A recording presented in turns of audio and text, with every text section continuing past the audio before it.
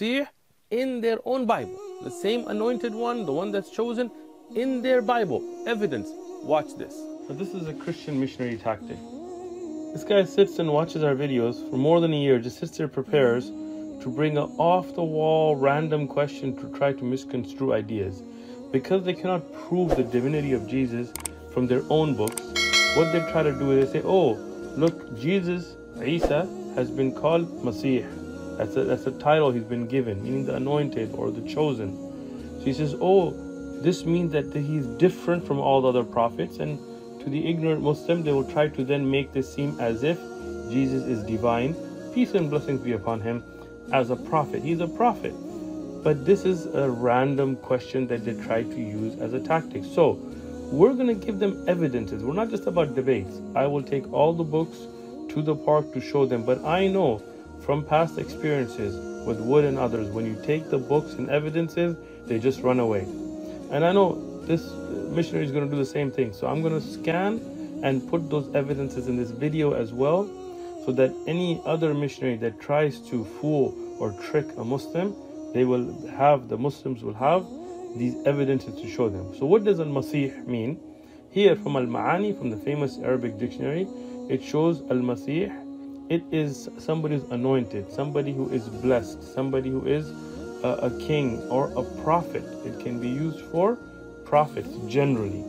Now, let's look at the evidences from their own books, from the Bible. I will give evidences from the Quran, from a hadith, but I'll also give evidence from their own book. If we look at Psalms, you will, this is again, this is pre Jesus, this is Old Testament, right? Here in Psalms 1850, you will see the word Masih. I've highlighted it. Masih being used for Dawood, for David, and his progeny that is to come, his descendants that will be prophets like Solomon and so on. So here, Masih, the same word that he's like, oh, never been used except for Jesus, is being shown in his own book. And you will see it used for Cyrus. In fact, you will see it used all over the Old Testament, being used for other than Jesus, peace and blessings be upon him. Now, this Psalms 105:15, this is very clear. It shows the plural sense being used for prophets.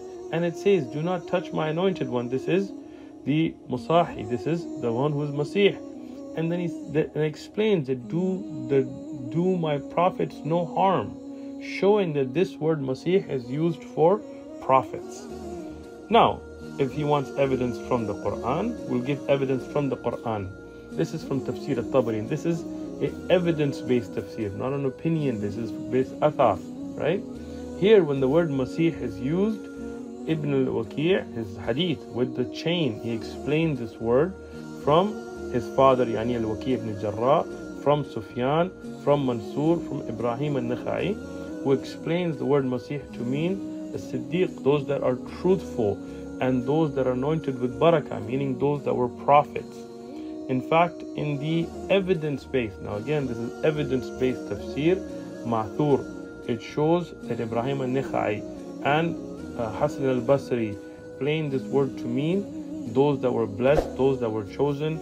Now, the ulama of Islam, based on these evidences, have said that Masih is a word that is that is used as a title, as it was for Jesus, peace and blessings be upon him, but it can be used it can be reference to any prophet. And what is the ma'nahu? What is the meaning? Al-Mukhtar min Allah, the one who is chosen by Allah. This is the evidence-based response. Now, if they were sincere, they would have said yes. In our own book, we have others called Masih. So